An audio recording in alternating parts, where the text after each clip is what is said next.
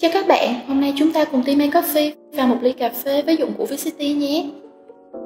Đầu tiên, hãy cùng team May tìm hiểu về dụng cụ này. Vicity là dụng cụ pha chế cà phê do công ty Hario sản xuất. Được cho ra mắt lần đầu tiên vào năm 1950, nhưng phải tới năm 2004 sản phẩm này mới được hoàn thiện một cách chuẩn xác. Vicity có thể được làm bằng rất nhiều chất liệu, chẳng hạn như thủy tinh, gốm và nhựa. Bên trong phễu có những đường ray xoắn ốc và có một lỗ lớn ở trung tâm. Cái tên V60 là viết tắt của vector góc 60 độ.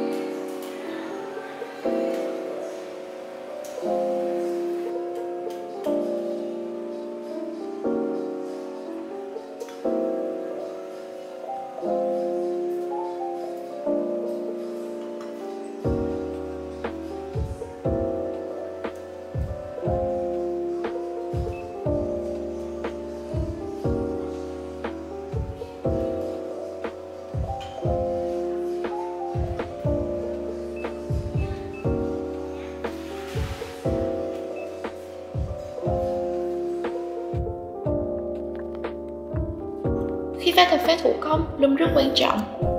Vậy, Bloom là gì? Chúng ta có thể hiểu đơn giản rằng Bloom là sự diện nở của cà phê khi gặp nước. Khí CO2 trong bột cà phê thoát ra khiến khối bột phồng lên trông như đang nở hoa vậy. Bloom giúp cà phê giải phóng bớt khí CO2 hình thành trong quá trình rang. Nếu không có quá trình này, khí CO2 trong hạt kết hợp với nước tạo thành axit sẽ gây ra vị chua khó chịu. Đồng thời, khí CO2 không được thoát ra sẽ tác động đến dòng nước, gây tăng chiết xuất và có thể làm cà phê có vị đắng gắt.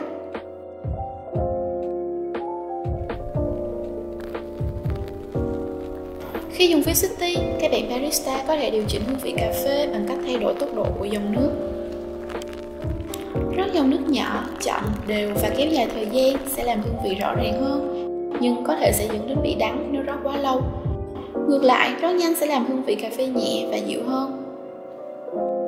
Pha các dòng cà phê specialty, các bạn phải lưu ý đến tỷ lệ nước và cà phê cũng như nhiệt độ sôi của nước.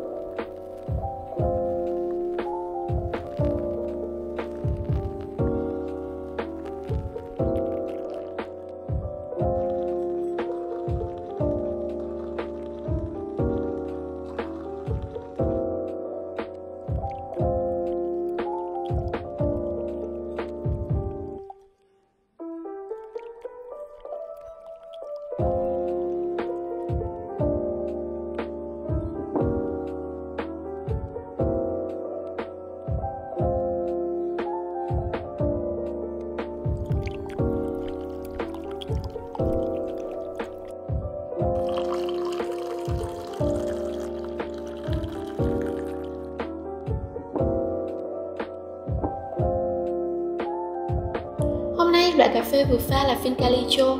Loại cà phê này đem đến hương vị béo của hạt, vị ngon nhẹ của mâm xôi và đường trắng. Đồng lại cuối cùng là hậu vị đầy lưu luyến của bánh tạt hạnh nhân. Các bạn có thể thưởng thức ngay sau khi pha nhé.